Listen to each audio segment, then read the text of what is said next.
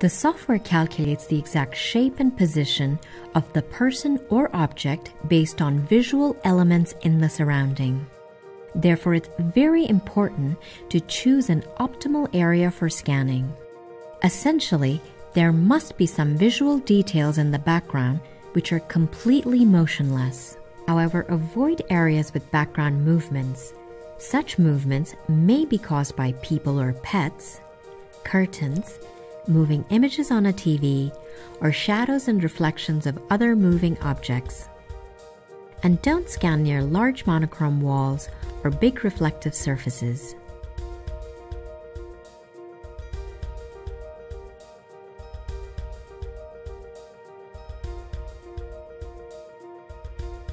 Creating perfect scans with this app under outdoor conditions is also possible as long as you follow the same lighting and environmental conditions.